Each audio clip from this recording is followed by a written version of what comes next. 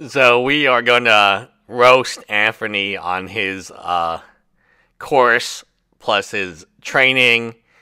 And now, of course, you have to do better than the $35,000 personal training, which requires you to have $200,000 in cash as well to buy inventory, I guess.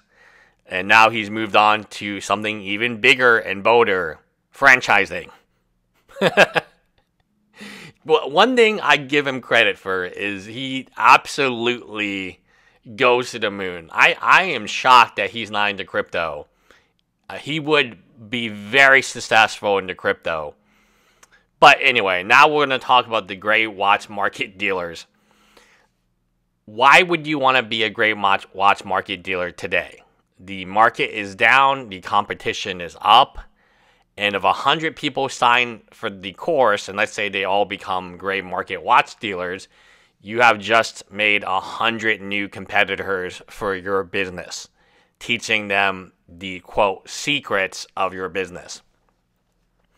The main problem I find with uh, this idea of his is I don't think he will execute it. We have a long history of him having good ideas but not executing the idea. Uh, we can talk about the blackout. We can talk about the Facebook group. We can talk about even the recent coaching clients that we have not heard anything from. Anthony in this video says he had 10 coaching clients. One out of the 10, Z, he calls them successful. But he's only successful because Anthony moved to his location just kind of randomly. And he is the operation manager of, I think they don't even have a security guard anymore. It's literally a few salespeople, most of them new, one of them potentially also a felon, because that's who you want to buy these watches from, guys. Uh, Liz, Darby, Brian. This isn't a successful operation. I made another video about franchising if you want to take a look uh, today.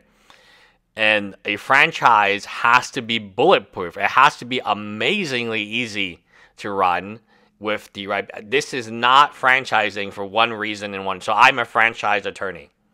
I do this probably I do a franchise case maybe once a year. I did a very big one when I was an intern. I, I wrote all the operations. I, I did everything about that one. It was the coupon book for you know how schools used to sell these giant coupon books.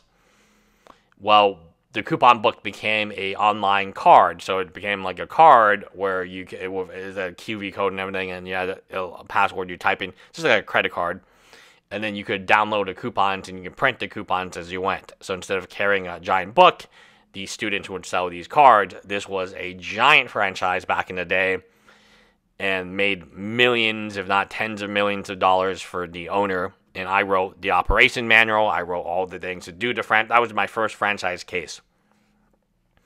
Uh, that was my last, no, second year, my second, after my second two hour year of law school. Now back to the coaching and the different levels of coaching. You got the $2,500 course, which has 10 parts, possibly 11 part. I doubt he even finishes part one. Uh, a person who already paid asked him in a comment, and he wasn't, and you know he already paid because he wasn't like as rude to this individual. Hey, you know, um, I paid already. Is there a link to the course? And he said, no, course is not made how are you going to sell something pre-sell it i mean because right now like you should have made it already because you pre-sold it right? There was this march 15th special and so on and then you move the date back. It's very it doesn't strike anthony Farrer does not strike me as a academic. And that's what you need when you're making a course. You need somebody to write the course.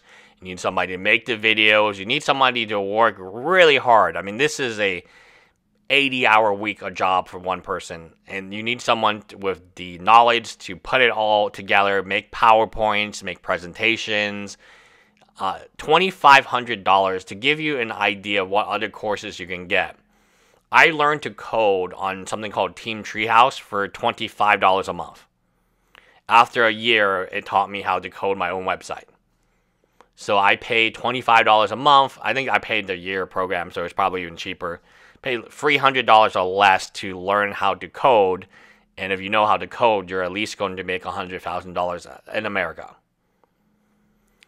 Anthony's charging a hundred times that amount for just you know for what for the personal coaching for the for what i mean i don't understand what you actually gain and at the end of the day like he's not going to help you out because he doesn't know how to do it when you franchise something you're saying that hey my business is making this much profit a year my business is selling this much revenue this is sustainable the gray market is not sustainable. There's too many people in the gray market. There's not enough used watches to sell. And when you look at like Wolves of Wall Street, you look at Grand Caliber, you look at all these Roman, they're all just selling the same watches on the same what uh, WhatsApp groups, right?